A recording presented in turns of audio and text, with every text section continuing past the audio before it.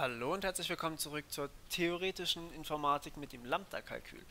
Ja, ähm, was wir dieses Mal machen wollen, habe ich euch schon prophezeit, äh, nämlich das Multiplizieren von zwei Zahlen. Ich werde wieder 2 und 2 benutzen. Und ja, genau das machen wir jetzt hier einfach mal. Ich sage hier, okay, ähm, ich packe hier erstmal ein paar Klammern drumherum, dass ich es nur einfach äh, kopieren muss. So, n und m sind meine ähm, zwei Zahlen. Gut.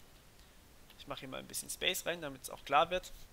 So, und äh, jetzt kopiere ich diesen Teil hier, ganz einfach, in die neue Zeile und setze für n und m dieses, äh, diese Zahl ein. So. Na, das war das Falsche. Okay, ich sehe es ein. Ich muss es nochmal kopieren. Gut. So, ähm...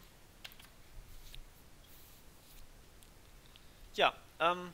Achso, ich habe euch noch gar nicht die Formel erklärt. Das ist nämlich hier m angewendet auf NS. Also mehr ist es nicht. Ähm, ja, einfach als Praxis das Ganze reduzieren hier, dass wir das auch alles machen können.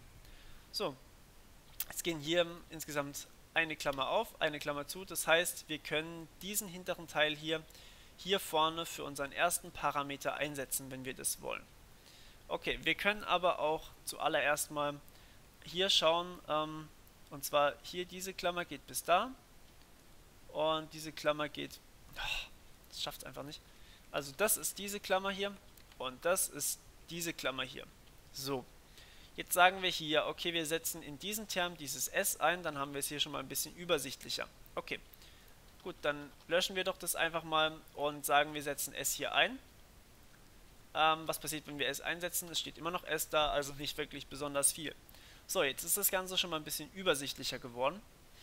Und jetzt sehen wir hier Lambda S, äh, also die Klammer hier hinten geht bis hier. So, jetzt können wir hier das alles einsetzen. Okay. Das heißt, wir nehmen, achso, ich sollte vielleicht erstmal alles kopieren. Ähm, so. Und jetzt nehmen wir den hinteren Teil und setzen den für S ein.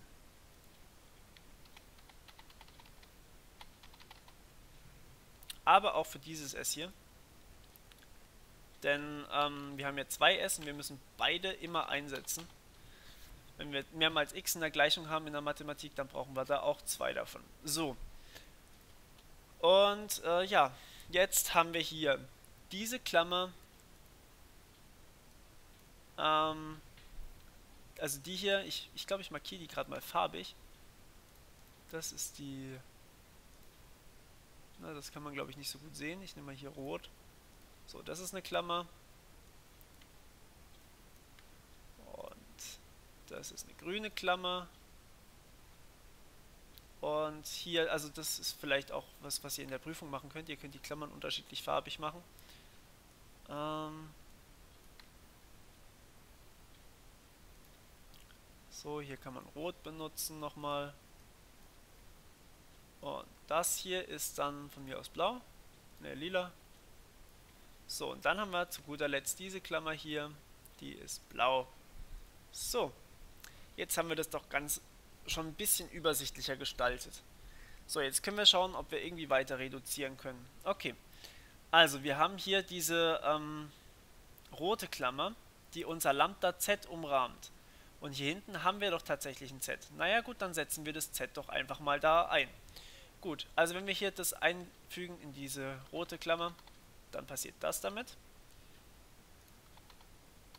Wir setzen das Z, was ich gerade weggelöscht habe, hier dafür ein. So. Gut, hier hinten kann man jetzt natürlich nichts mehr weitermachen. Hier haben wir jetzt allerdings noch ähm, eine grüne Klammer. Die blaue Klammer geht bis hierhin, die können wir nicht machen. Aber diese grüne Klammer hier, da steht lambda z.s von sz. So, da setzen wir doch das Z einfach mal ein. Ähm, für das Z hier hinten. Das Z, was wir einsetzen, ist das hier. Nein, nur bis dahin, bitte. So. Achso, ähm, ich sollte das vielleicht alles noch in eine neue Zeile schreiben.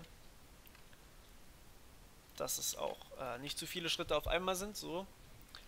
Und ähm, ja, jetzt nehmen wir dieses hier. Nein immer diese Hilfen, die keine Hilfen sind. Okay, wir setzen das für dieses Z hier ein und löschen hier das weg.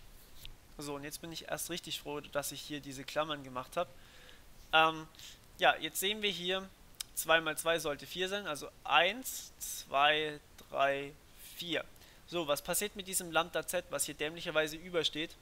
Naja, da passiert gar nichts mit, ähm, denn Lambda Z ist einfach Zero, also nichts, also passiert da auch nicht wirklich was damit. Wir könnten jetzt hier hinten noch Zero einfügen, die Zahl 0, aber wir können es auch einfach weglassen. So. Und schon sind wir fertig und haben herausgefunden, dass 2 mal 2 4 ist, auch im Lambda-Kalkül. Gut, ja, ähm, ich werde das Ganze hier mal beenden, denn ich glaube, das, ähm, ja, war genug für ein Video. Genug Praxis. Alles klar, dann bis zum nächsten Mal und macht's gut. Bis dann. Ciao, ciao.